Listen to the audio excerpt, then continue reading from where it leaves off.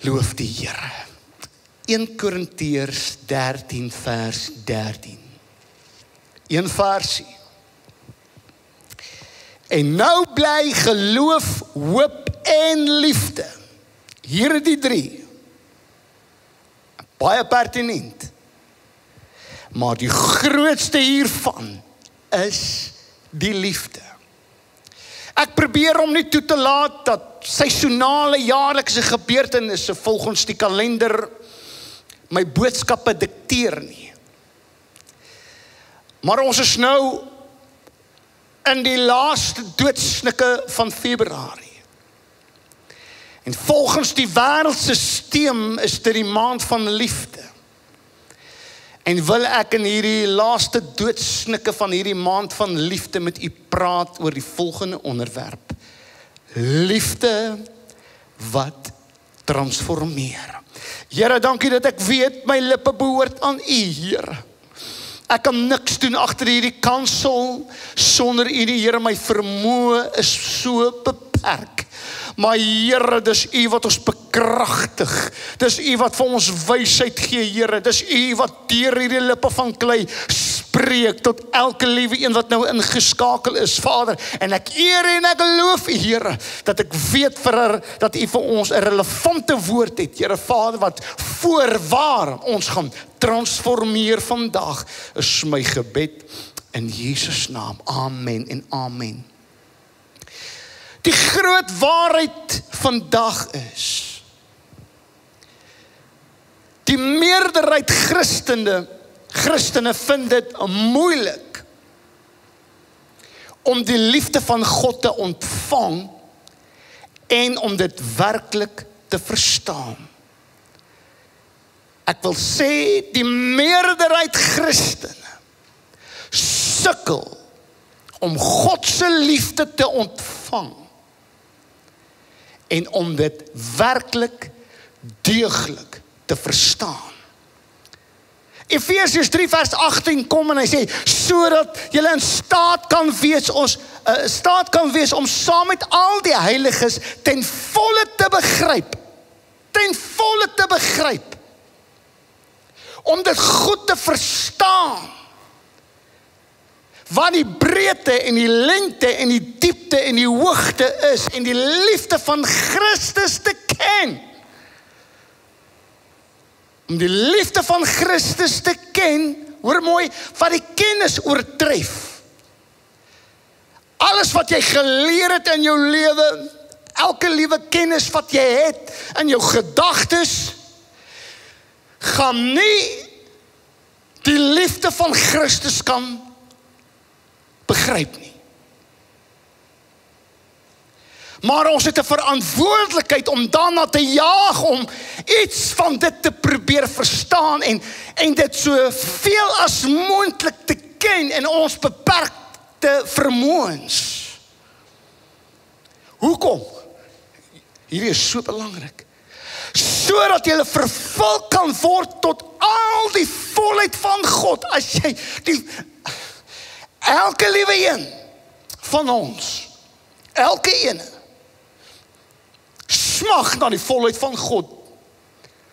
In die begin van die jaar het ons gesê ons wil geestelik groei hierdie jaar en verseker wanneer ons geestelik wil groei en ons wil reuse word geestelik het ons nodig om die liefde van Christus te verstaan en te ken sodat ons vervul kan word tot al die volheid van God. Ja. Wanneer jy die liefde van God ken in jou beperktheid wanneer jy die liefde van God ken, dis dan wanneer jy vervul word met die volheid van God. En Here help ons. Ek wonder of daar iemand is nou op hierdie oomblikke wat hulle hande in die lug wil steek daar in jou huis, in jou sitkamer, in jou kombuis, in jou kantoor waar jy nou na hierdie program kyk en net sê Here, help my om die liefde van Christus te verstaan sodat ek die volheid van God in my lewe kan hê. Ek glo dit is jou behoefte en jou begeerte vandag. Ken God dan ken jy liefde wat transformeer tot die volheid van God. O Here, help ons. Ek probeer my beste om nou hierdie ding aan U te verduidelik. As jy God ken, ken jy liefde. En is liefde wat transformeer tot die volheid van God. En die geheim van Efesiërs 3 is hy praat nie met die wêreld nie, hy praat met die kerk, hy praat met kinders van die Here. En Paulus se gebed is in Efese En sy gebed vir my en u vandag hier in 2022 dat ons werklik die liefde van God sal verstaan sodat die volheid van God in ons kan wees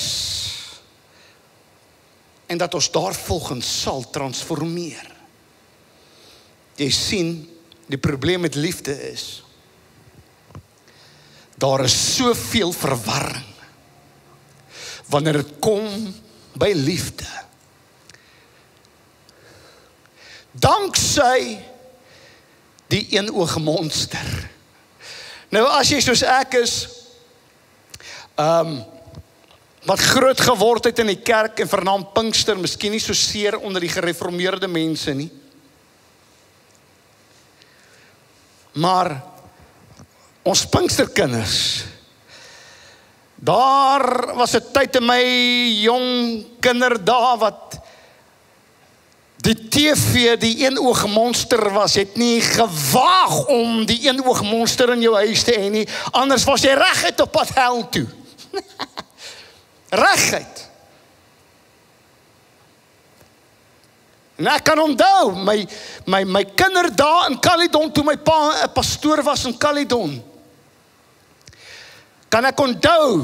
Dis dis dis, dis die huis wel, dis waar ek as kind kan onthou hoe ver ek kan terugdink en kan onthou dat juis in Jacaranda straat in Caledon was daar geen TV in ons huis nie, geen. Daar was 'n radio gewees. En dan het ons tapes gehad. Kassette gehad met preke om Pieter Snyman en en dis wie my held was as kind. Was hy my held gewees? Want dis al wat ek geken het oom Pieter Snyman wat in die Tweede Wêreldoorlog was. En hoe hy sy getuienis gebring het en hoe het ek baie aande gesit, dan weet jy nie wat om te doen nie, dan sit jy maar 'n kaset in in die in die hi-fi stelsel en jy luister na preke. Ons ken nie die Ons het nie TV geken daai tyd nie. En dit wat die eenoog monster vir ons wys, dit wat TV vir ons wys, wat films en sepies vir ons wil dikteer sê dat liefde is romanties. Liefde is wel is seks. 'n obsessie is daar die gevoel van my hart klop chocolates as jy naby is.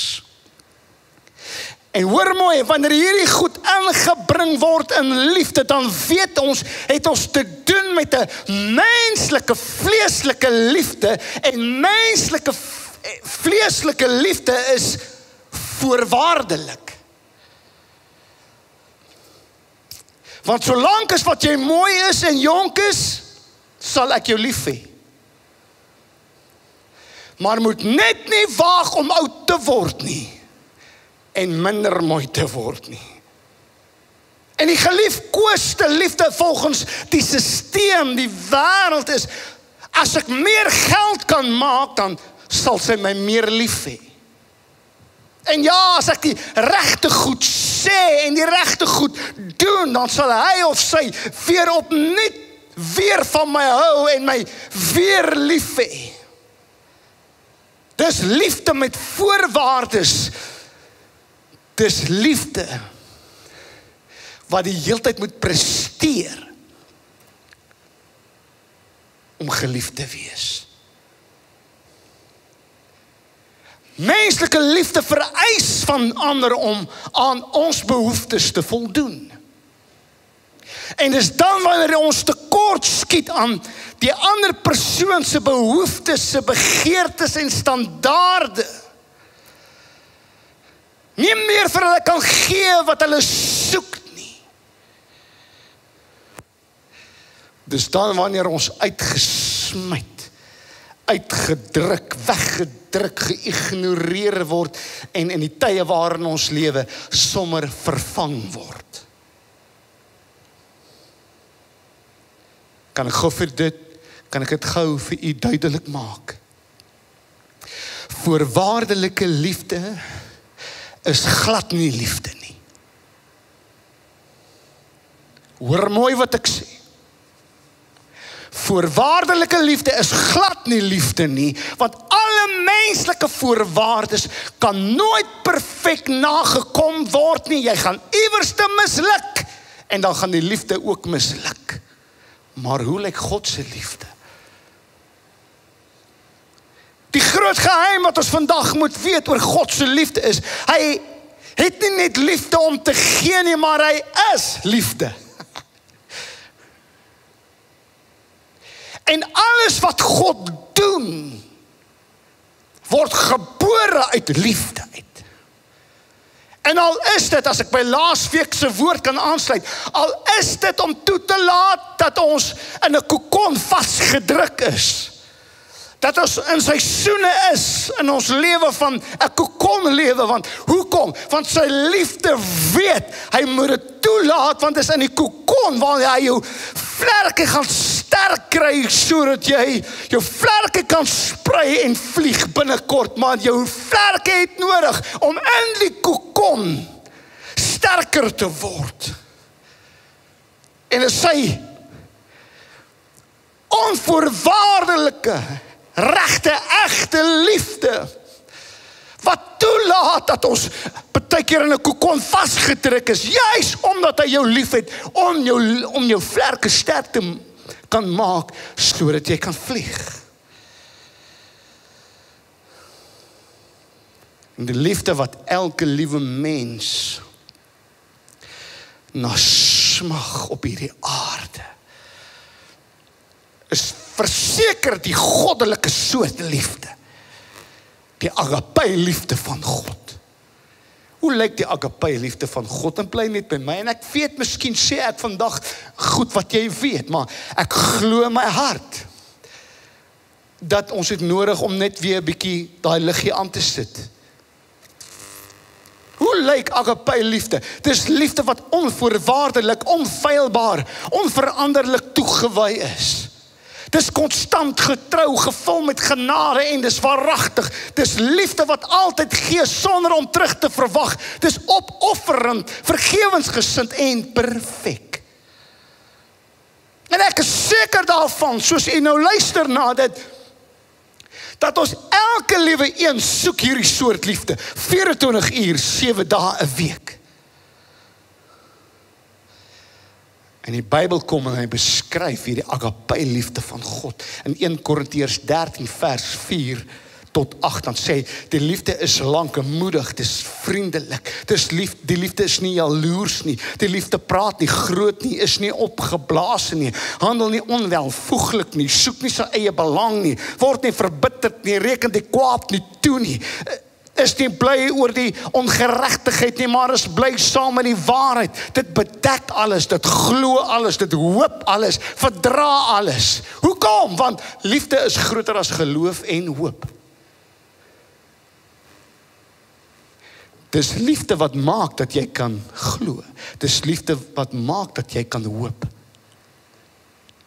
En dis hoekom liefde groter is as geloof en hoop maar ons gaan nou-nou 'n bietjie daaroor praat. Ek wil gou draai.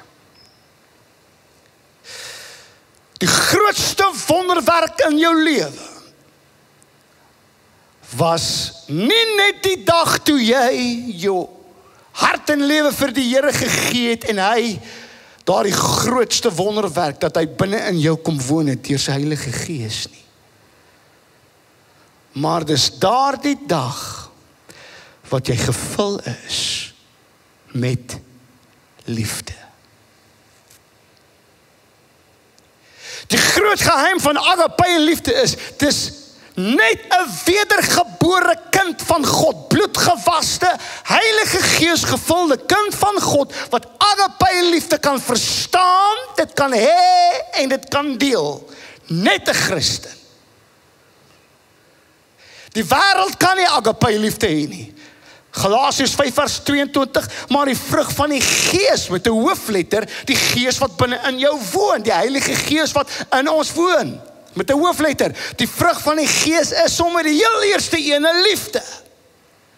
En dan blydskap, vrede, lankmoedigheid, vriendelikheid, goedheid, getrouheid, sagmoedigheid en selfbeheersing. Hoor gou hier.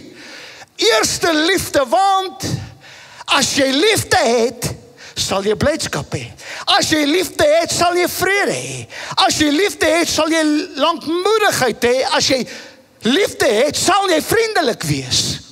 As jy liefde het, sal jy go eh, goed wees, getrou wees, sagmoedig wees en sal jy selfbeheersing in jou lewe kan toepas, alles te danke aan liefde.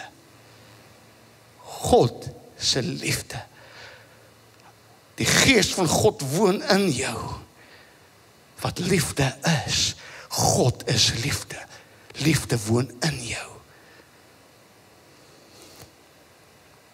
2 Timoteus 1:7 sê, want God het ons nie as kinders van die Here, bloedgewaste Heilige Gees kinders van die Here. Het hy ons nie 'n gees van vreesagtigheid vreesagtigheid gegee nie, maar van krag en liefde. Romeine 5 vers 5 en die hoop beskaam nie ons het hoop. O, oh, ek wil nie my boodskap vooruit hardloop nie, maar kom ek verduidelik vir u. Wat is hoop? Hoop is iets wat jy verwag. Dis iets in die toekoms. Wat wag jy voor in die toekoms? Jy wag vir 'n antwoord. Jy wag vir 'n deurbraak. Jy wag vir 'n wonderwerk. Jy wag vir genesing, vir voorsiening. Hoop Die hoop beskaam nie. Omdat die liefde van God in ons harte uitgestort is deur die Heilige Gees wat aan ons, die kerk van die Here Jesus Christus gegee is, nie aan die wêreld nie. Aan bloedgewaste kinders van die Here. Hoekom is daar hoop in die samelewing? Hoekom is daar hoop in jou gemeenskap? Hoekom is daar hoop in hierdie wêreld? Want daar is mense ambassadeurs geplaas in wie se harte. Die agape liefde van God vol die volkomme opregte egte liefde uitgestort is. Dan is daar hierdie geweldige geweldige belangrike skrif. In in 1 Johannes 4 vers 7 geliefdes Laat ons mekaar lief hê. Laat ons mekaar lief hê. Want die liefde is uit God. Ons is gevul met hierdie liefde, gekonnekteer met hierdie liefde. Dis in ons harte uitgestort. Die liefde is uit God. En elke een wat liefhet, is uit God gebore en ken God. Met ander woorde, as jy nie liefhet nie, ken jy nie God nie. As jy God ken, sal jy lief hê. Dis diep. Hoe word jy uit God gebore? Die dag by jou wedergebore, geboorte. Die dag by jou bekering. Word jy uit God gebore? Hy leef in jou jy leef nie meer in die vlees skuif een kant toe en die wil van God opereer in jou lewe. Hoe weet mense jy is uit God gebore? Hoe weet mense jy ken God volgens hierdie skrif? Deur die agape liefde van God te demonstreer. Die agape liefde van God te wys as jy lief te onder mekaar het. Want elkeen wat liefhet is uit God gebore en ken God. Nou is daar dalk mense wat sê Clemens maar Ek is nie wedergebore nie en ek is nie 'n kind van die Here nie, maar ek is ook lief vir mense. En ja, jy is lief vir mense, maar jy's lief vir mense met menslike voorwaardes en nie God se voorwaardes nie want die verskil tussen 'n wedergebore kind van die Here en die een wat nog nie die Here aangeneem het is dat die een se liefde is voorwaardelik en die ander een se liefde is God se liefde onvoorwaardelik.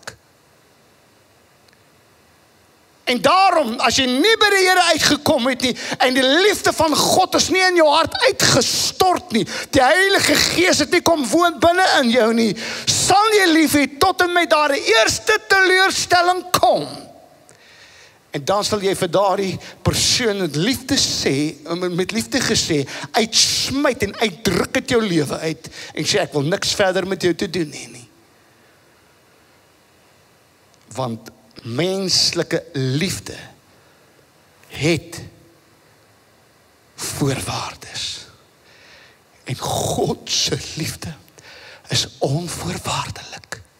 En dis die liefde wat uitgestort is in 'n kind van God se lewe. Daardie dag by jou bekering. Jy sien menslike liefde is 'n nabootsing van liefde wat jy by jou ouers gesien het. Menslike liefde is liefde wat goed voel, maar die gevoel gaan weg. Dit laat jou lekker voel. Dis my hart klop chocolates as jy naby is, maar die chocolates word later verander in modder. Voorwaardelike menslike liefde moet jy hard voorwerk. Jy moet die hele tyd presteer want as jy iewers te gaan ophou om te presteer, dan gaan die liefde verdwyn. Want danksy die eenoog monster, die die televisie en films en sepies word ons gedikteer. En is die norm deesdae moet ons almal mos ons gewig dophou.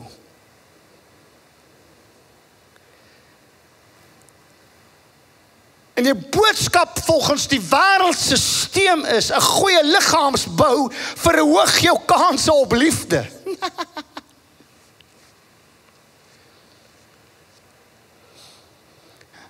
Net gisteraand.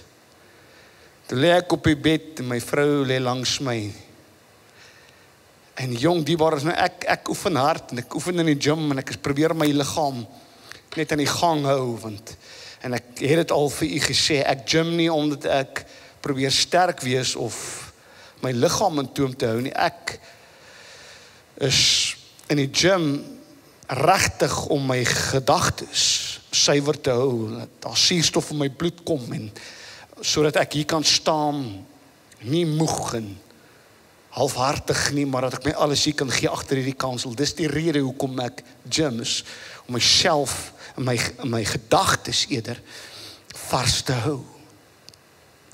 Nou weet ek nie, dis nou seker nou maar kom ons sê maar ouderdom, ek weet nie nou. Nou ek het altyd 'n large hemp gedra, 'n large.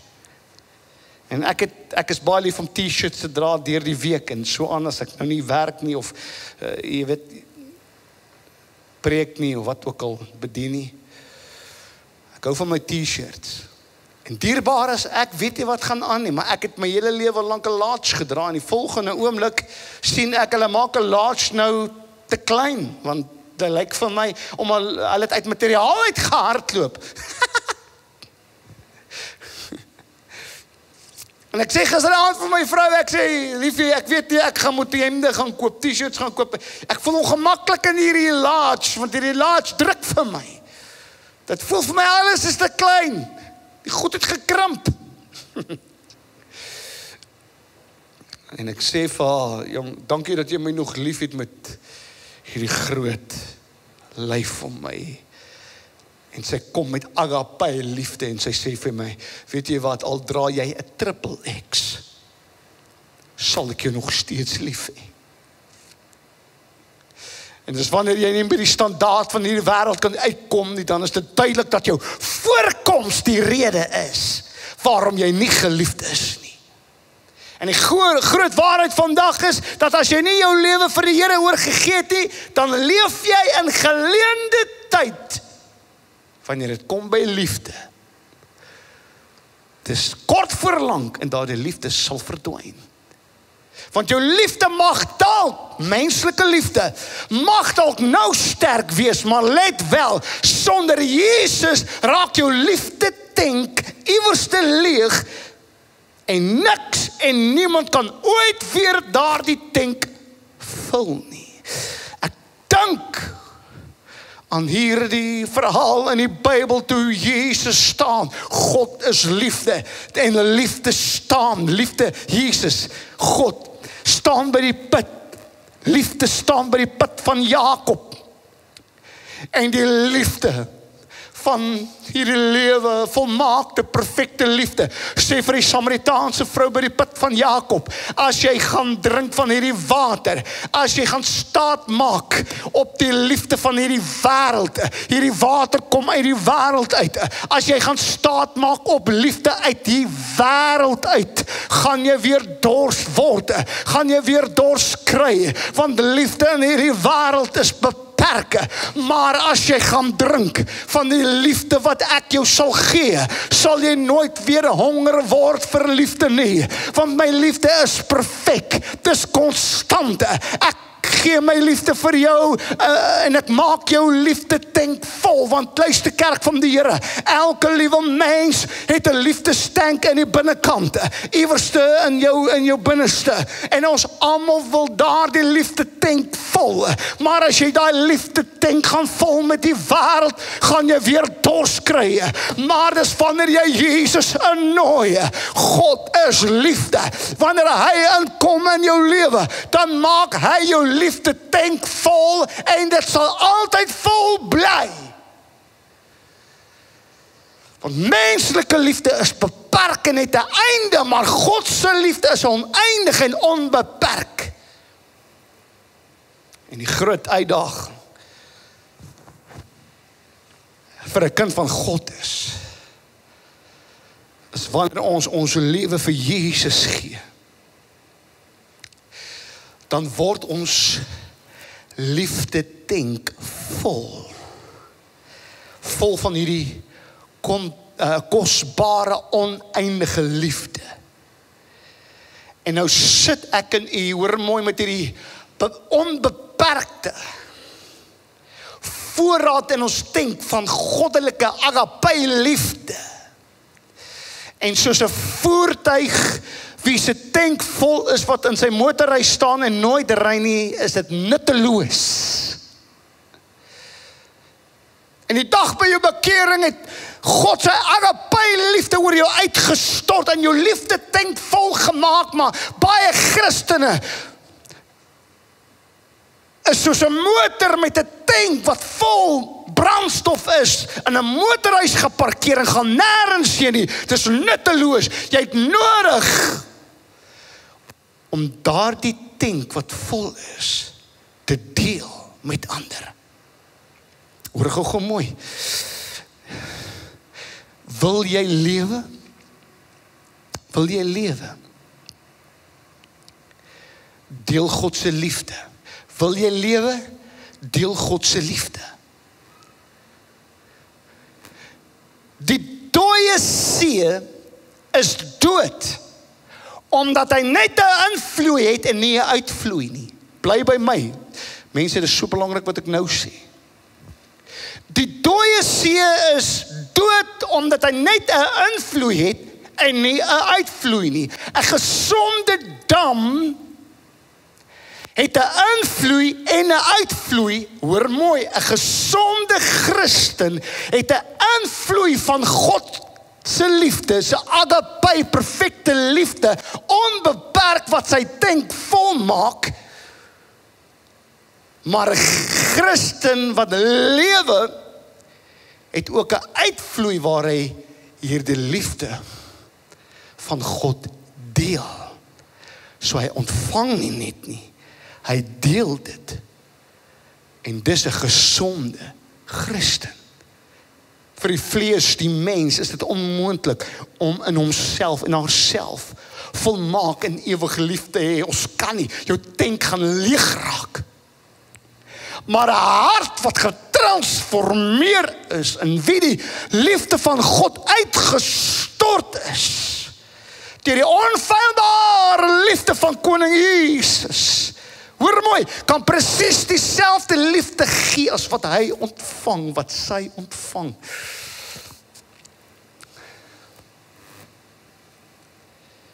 Hoor jy dit?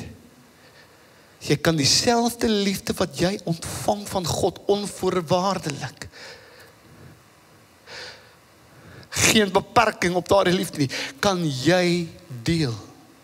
Dieselfde liefde wat jy kan wat jy ontvang, kan jy ook deel. My vrou ontvang elke maand, ons het iewerste in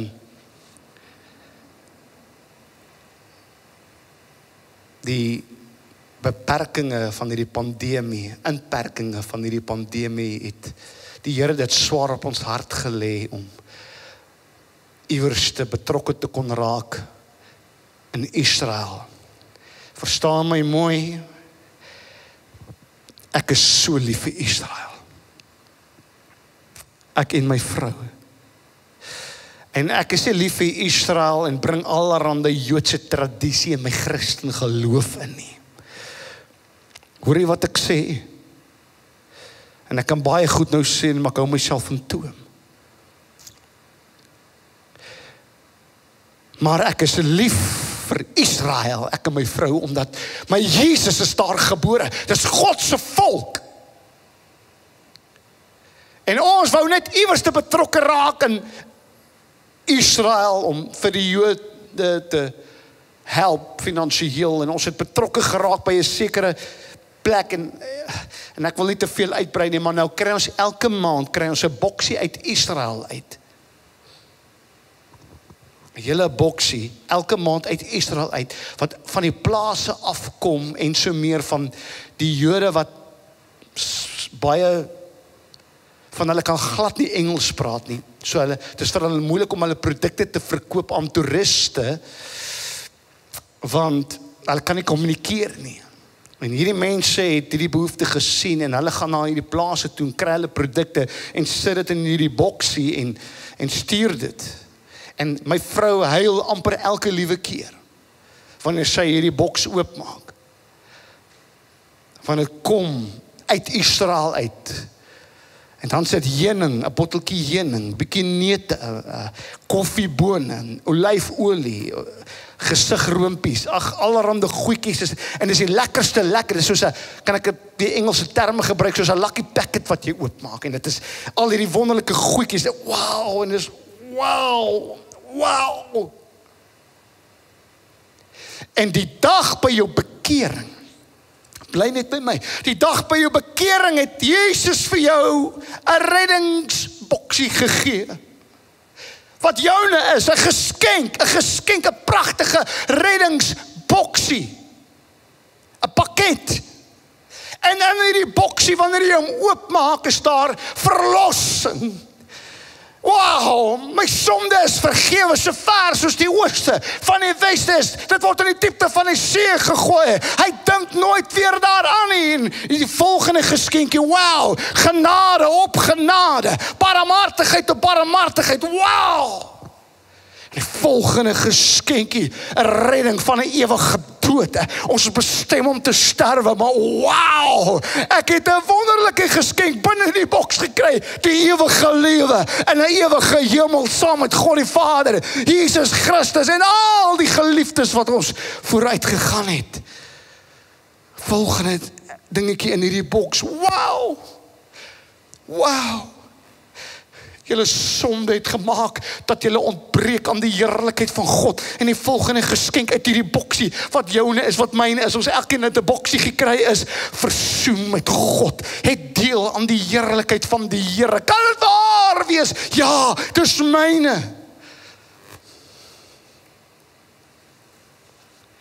Dan lê daar 'n verrassing reg onder hierdie boks Dis groot. Dit lê die hele boks vol. Dis gewigtig. Agape liefde van God is joune. Agape liefde van God is joune. Dis massief, dis gewigtig. Hoekom? Want liefde is groter as hoop. Liefde is groter as geloof. In Johannes 4 vers 8, hy wat nie liefhet net God nie geken nie, want God is liefde.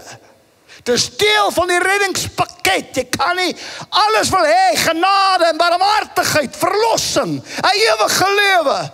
En sê maar ek wil nie God se liefde wys nie. Dis deel van jou pakket, dis deel van jou roeping, is deel van jou Christen lewe. Ek gaas myself in Johannes 4 vers 9. Hierin is die liefde van God tot ons geopenbaar. Hierin is die liefde van God tot ons geopenbaar dat God sy enige gebore seun in die wêreld gestuur het sodat ons deur hom kan lewe. Hierin is die liefde dubbelpunt. Hierin is die liefde. Nie dat ons God liefgehad het nie, maar dat hy ons liefgehad het en sy seun gestuur het as 'n verzoening vir ons sondes. Geliefdes, hy praat met die kerk. Hy praat tot wedergebore kinders van die Here. As God ons so liefgehad het, behoort ons mekaar ook so lief te hê. En ons sien die teendeel. O Here. Hoe boeties en sissies in die Here mekaar uitskeer. Teen mekaar in opstand kom. En die teendeel moet gebeur. As dit nodig om mekaar lief te hê soos hy Jesus Christus ons liefhet. Hoor wat sê hy hierdie kragtige woorde verder. Hy sê niemand het God geaanskou nie. Niemand. Ons kan ook nie. Maar hoor wat sê hy? Hier's 'n manier hoe hulle God kan aanskou. Wanneer ek en u mekaar liefhet.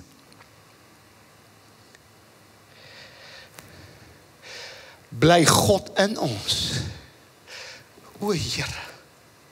En het sy liefde in ons volmaak geword. Wanneer? Wanneer ek en u mekaar liefhet. Maar die tye waarin ons lewe wil ons eerder mekaar skeer. Verdeeldheid bring tweedrag swaai. En as die een denominasie teen 'n ander denominasie, die een kerk teen 'n ander kerk, die een broer teen 'n ander broer.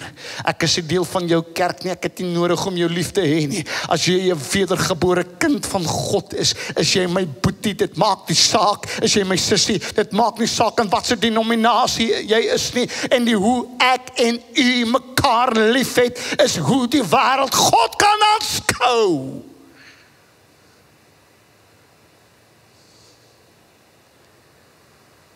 Broederlike liefde is die teken, die konkrete bewys dat God in ons bly.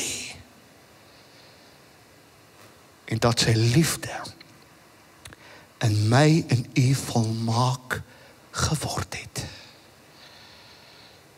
Met ander woorde, as ek en u mekaar liefhet met die liefde wat God ons mee liefhet, bly gou by my. Ek weet ek weet weet ek sal weer lank is die siklus van liefde in jou lewe voltooi. Luister gou mooi, kyk gou gou mooi. Ek vat 'n pen en ek maak 'n sirkel en jy 'n 'n 'n sirkel trek jy en jy voltooi die siklus. Dis hoe jy jy voltooi die siklus. Hier is wat God gedoen het in jou lewe. Hy het sy agape liefde uitgestort en hy stort dit elke liewe dag in jou lewe uit. Jou liefde tank is vol en dit stop net daar. En hoe voltooi jy die siklus? Wanneer jy die liefde wat jy nou hier ontvang het, begin wys dieselfde liefde wat hy vir jou gee om jou liefde tank vol te maak, is dieselfde liefde wat ek aan u moet wys. En dan wanneer terwyl ons dit wys aan elke liewe een, dan alleen is die siklus voltooi. O, en dis God se droom vir sy kerk. Dis die droom wat God het vir boeties en sissies in die Here. Dis sy intensie, dis sy bedoeling dat jy in die naam van die Here die siklus sal voltooi.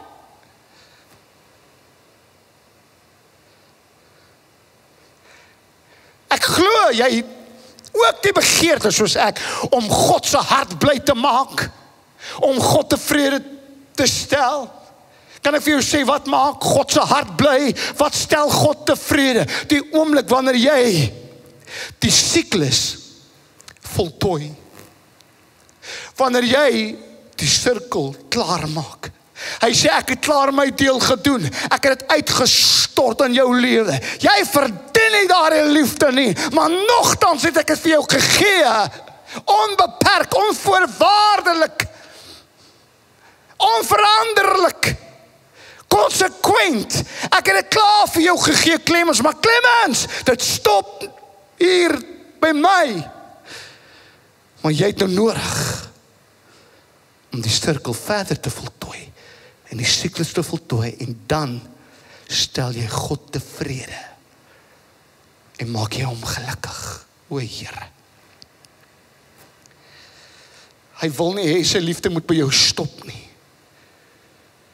Die siklus van God se liefde is alleenlik voltooi wanneer jy dit deel met iemand anderste. Hy wil hê jy moet sy liefde ondervind, ervaar en beleef. Hy wil sy volmaakte liefde uitstot oor jou sodat jy kan weet wat is jou ware identiteit en hier is die, hier is die probleem.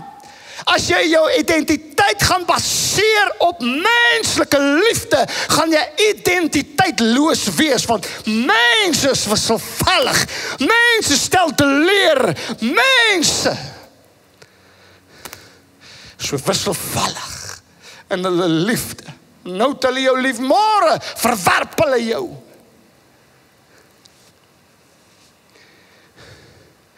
En as jy jou liefde gaan bou op menslike liefde, hoeveel mense van jou hou of nie van jou nie, gaan jy identiteitloos wees. Maar dis wanneer jy jou identiteit vind in goddelike liefde, kabarababo, shikalababonda labakata labahanda. Dis dan wanneer jy sal weet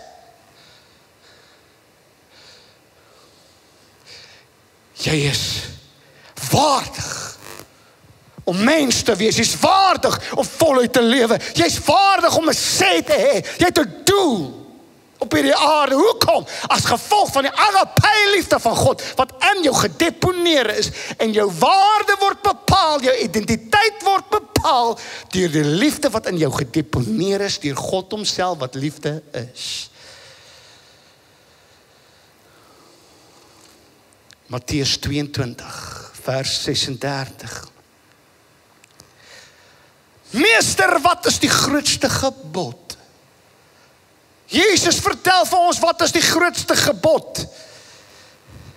En Jesus antwoord hom: Jy moet die Here jou God lief hê. Hoor gou baie mooi. Met jou hele hart en met jou hele siel, met jou hele verstand en verseker is die woordjies wat uitstaan in die eerste gebod. Julle God stel nie belang en 'n stukkie van jou hart, 'n stukkie van jou siel en 'n stukkie van jou verstand om hom lief te hê nie. God sê ek het jou lief, o Here. Ek het jou lief, nie net met 'n stukkie van my hart en 'n stukkie van my verstand en 'n stukkie van my siel nie. God homself sê ek het jou lief by jou naam. Hy ken jou by jou naam. Hy sê ek het jou lief met my hele hart, my hele verstand, my hele siel. En ek het nie nodig om hom ook so lief te hê. God sê, ek stel nie belang in 'n stukkie van jou hart, 'n stukkie van jou siel en 'n stukkie van jou. Waar oh, was ek nou? Siel en hart, verstand. En nou kom hy en hy sê dis die eerste en die grootste gebod. Maar dit stop nie daar nie. Want hier kom 'n kontras. Hier kom 'n kontras in wat hy nou net gesê het. Hy sê dis die eerste en groot gebod, maar die tweede waarmee of die tweede wat hiermee gelyk staan. Nie onder nie, nie bo dit nie, reg langs die eerste gebod. Alhoewel hy tweede is, is hy net so belangrik soos die eerste een. Want hy staan gelyk wat hiermee gelyk staan, soos wat jy God liefhet. Met jou hele hart en met jou hele siel en jou hele verstand moet jy Hoor gou mooi, jou naaste lief hê soos jouself. Hierdie ouetjie kan homself nie lief hê in uit 'n menslike oogpunt nie. Ek is te feilbaar. Te wisselvallig. Clemens, hoe kan jy jouself lief hê? Ek kan nie. Uit 'n menslike oogpunt uit, die Here weet ek kan nie myself lief hê nie. Ek het te veel foute. Ek maak droog sê verkeerde goed. Wisselvallig, onvolmaak. Ek kan nie myself lief hê nie maar. It's no longer I that liveth, but Christ that liveth in me. Dis net 'n kind van God wat homself kan lief hê. Want as jy nie jouself Here, as jy nie jouself gaan lief hê nie, het jy 'n probleem met die een wat binne in jou lewe. Dis God homself. Die Heilige Gees. En jy moet binne jy gaan baie vinnig moet vrede maak met jouself. En jouself begin lief hê, want ek kan myself net lief hê vir die een rede en een rede alleen, hy wat in my is. Maak dat ek myself kan lief hê. Wow. En nou omdat ek deur die oë van God se liefde myself kan lief hê, is dit dieselfde uitgangspunt om my naaste lief te hê. Dis hoe ek myself liefhet is deur die oë van agape liefde. En omdat ek nou in my onvolmaaktheid myself kan lief hê nie op grond van my eie menslike vaardighede menslike begeertes en al hierdie dinge nie maar op grond van agape liefde deur God se oë want hy woon binne in my hy leef binne in my. En omdat ek deur daardie perspektief myself kan lief hê het ek nodig om my naaste lief te hê soos ek myself liefhet in Christus Jesus. Ja mense. Ek ek haas myself. Bly gou goed by my ek is nou klaar. Ek is nou klaar. 13 Johannes 13 vers 34 uh 34 'n nuwe gebod gee ek julle dat julle mekaar moet lief hê soos ek julle lief gehad het moet julle ook mekaar lief hê. En dan kom hy met hierdie pertinente merkwaardige woorde. Hieraan sal almal weet dat julle my disippels is as julle liefde onder mekaar het. Nou vinnig vinnig 1 Korintiërs 13:13 13, ons geleesde gedeelte. Nou bly geloof, hoop en liefde. Nie hierdie drie maar die grootste hiervan is die liefde. Geloof is uiters belangrik vir 'n kind van God. Sonder geloof is dit onmoontlik om God te behaag. Hoop is uiters noodsaaklik vir 'n kind van God. Maar liefde oorskry hulle al twee. Geloof is 'n teenwoordige woord, is nie 'n toekomstige woord nie. 'n Teenwoordige woord is 'n woord vir nou. En chaos het jy geloof nou. Dis iets, dis 'n nou woord. In Hebreërs 11 vers 1 sê die geloof dan, die geloof nou is dan 'n vaste vertroue op die dinge wat ons hoop. Wat het ons net nou gesê? Wat is hoop? Hoop is 'n antwoord wat ons verwag. 'n Deurbraak wat ons verwag. Voorsiening wat ons verwag. 'n Wonderwerk. Genesing wat ons verwag. 'n Bewys van die dinge wat ons nie sien nie. Geloof teenswoordige tyd. En dit vereis dat ons nie wag nie. Dis 'n nou woord, jy moet dit nou doen. Maar hoop hoop vereis dat jy moet wag. Geloof is nou, hoop is wag. En dis in die wag wat jy vol vertroue en verwagting is dat God wel vir jou sal deurkom.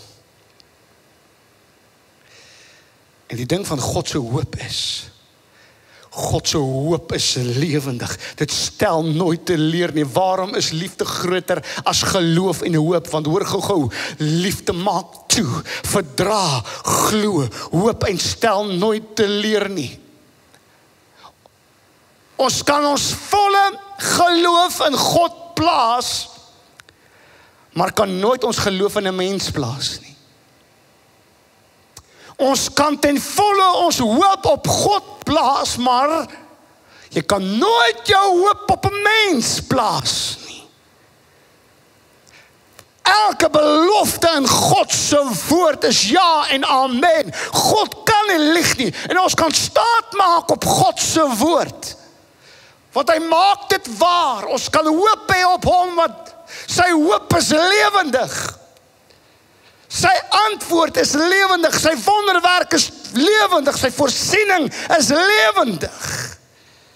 Dis net God wat kredietwaardig is om ten volle vertrou te word.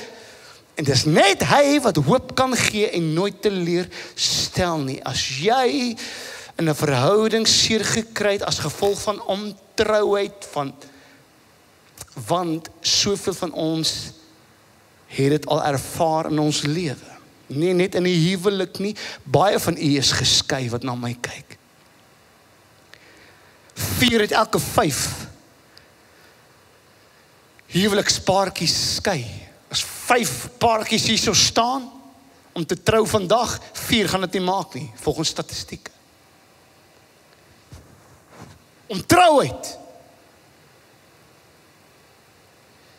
En wanneer jy deur 'n egskeiding kom of 'n verhouding met 'n kind wat skeef geloop het of kollegas of vriende, het jy die geloof wat jy gehad het in daardie persoon het jy verloor, het misluk. En as jy verpletter en teleurgestel gelaat.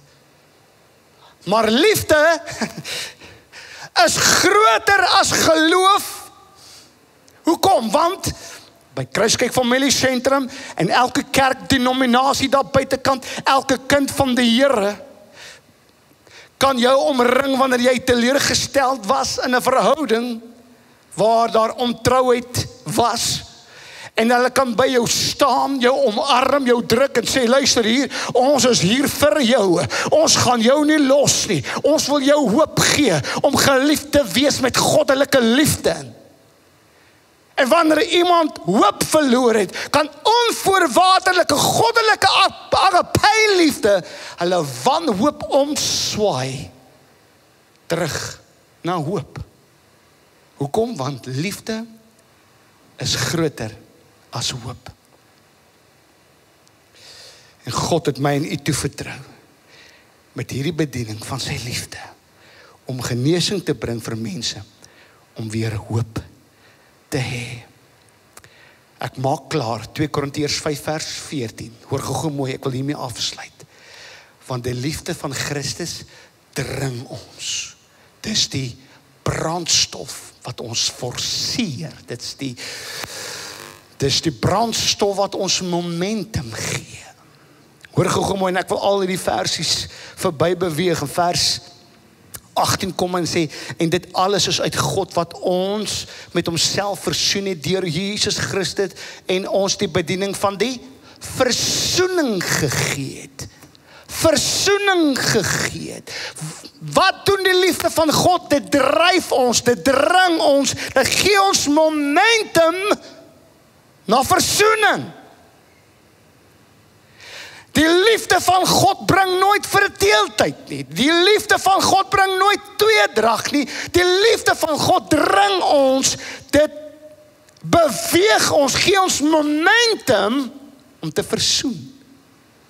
Wat beteken versoening? Dit beteken dat daar waar 'n verskil was, daar was daar waar ons nie saamgestem het nie, is daar nou aanpassings gemaak sodat ons weer in 'n een eenheid kan funksioneer. waar guns ontbreek was, is guns nou herstel.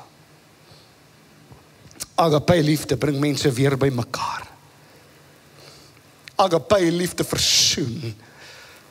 Van dis die liefde van God wat in ons werk, wat ons dring, wat ons momentum gee om te sê, hierdie ding kan nie so aangaan nie. Ons het nodig om te versoen.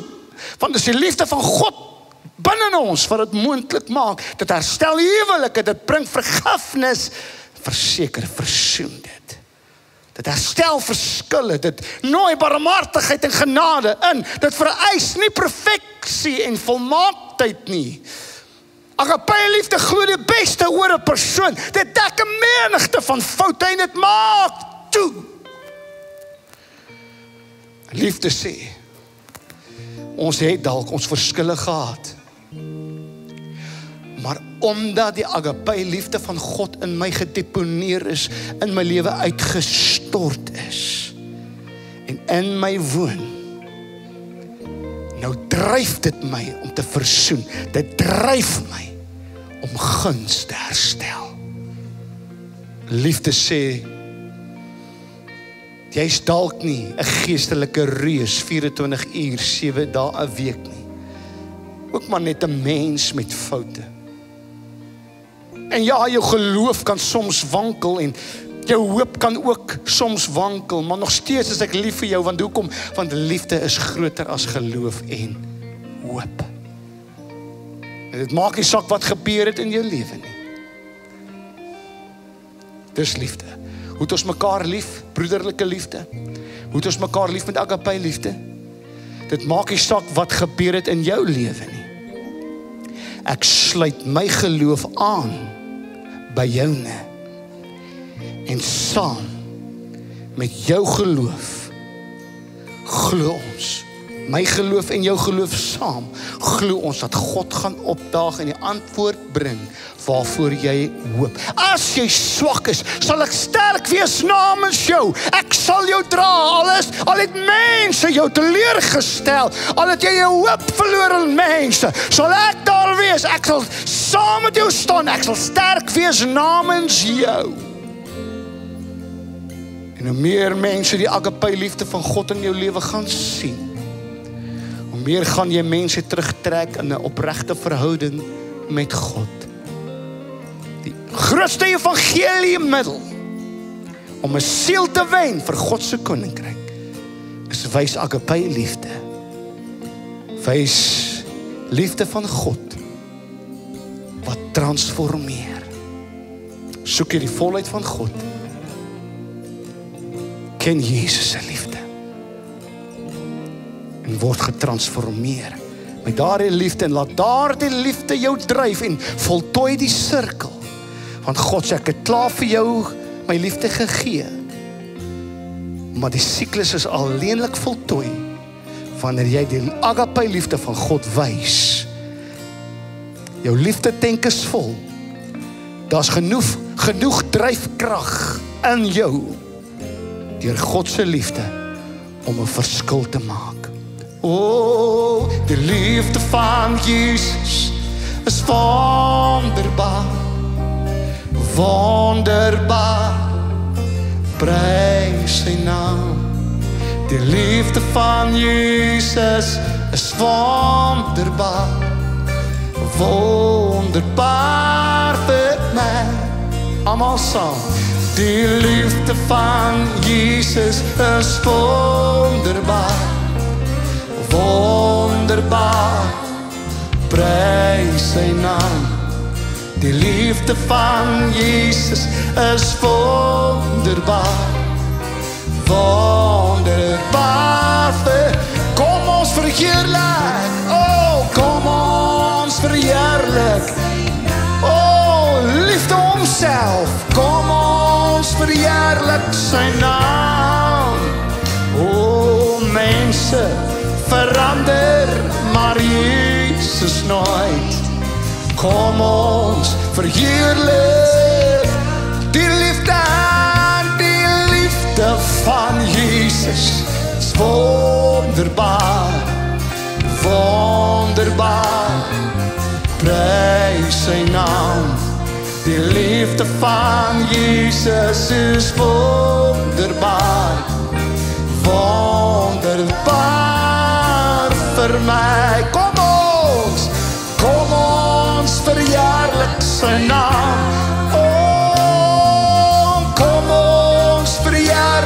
sy naam.